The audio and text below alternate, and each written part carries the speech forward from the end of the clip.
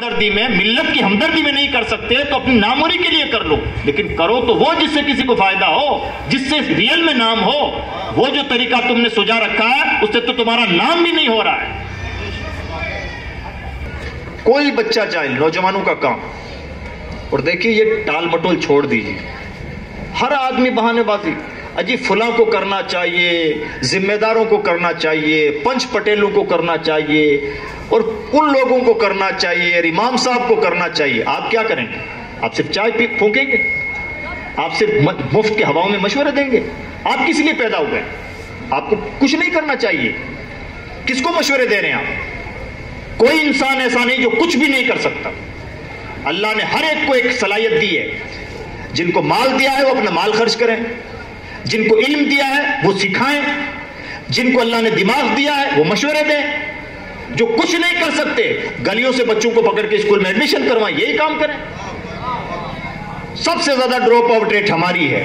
सबसे ज़्यादा लोफर किस्म के बच्चे। जिन्हें ना बात करने का ढंग है, सुबह से शाम तक पान और गुटकों में मस्त हैं। हर नौजवान कोई खब सवार है मुआश के। बाजी का सुबह से शाम तक मोबाइल में मस्त हैं, निकम्मापन है, कुछ भी नहीं कर रहे हैं। उन तमाम नौजवानों को दोबारा स्कूलों का, कॉलेजों का रास्ता दिखाएँ, यही आपका योगदान। है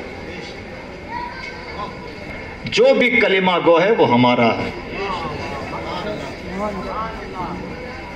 और आगे बढ़ाइए। जो भी बच्चा पढ़ने में ठीक वो हमारा है। उसका सपोर्ट कीजिए उसकी हौसला अफजाई कीजिए उसको आगे बढ़ाइए। आप ये पाएँगे कि हमारे मुआशरे में बहुत सारे एपीजे अब्दुल कलाम छुपे हुए हैं। परेशानी यह है कि उन्हें कोई तराशने वाला नहीं है। एक से एक नगीने छुपे हुए हैं। जो बहुत कल, जो कलाकारी के साथ इस पत्थर को तलाश सकता है क्या वो इंजीनियर नहीं बन सकता? जो बिगड़ी से बिगड़ी गाड़ी को संवार सकता है क्या वो मैकेनिकल इंजीनियर नहीं बन सकता था?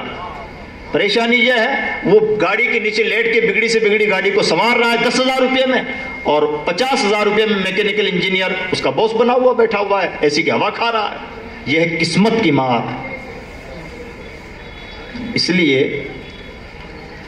अपनी एनर्जी को बचाइए, अपनी हर एनर्जी पॉजिटिव डायरेक्शन डायरेक्शन में खर्च कीजिए।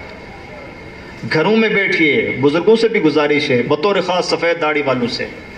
अपने ऊपर तरस खाइए। आप दस साल और पाँच साल के मेहमान हैं। आपको कोई भला कहने वाला नहीं अगर भला चाहते हैं तो घर में बैठ के कुरान की तिलावत कीजिए। मत बैठिए चबूतरों पे ताकि आने वाली नस्लों को मैसेज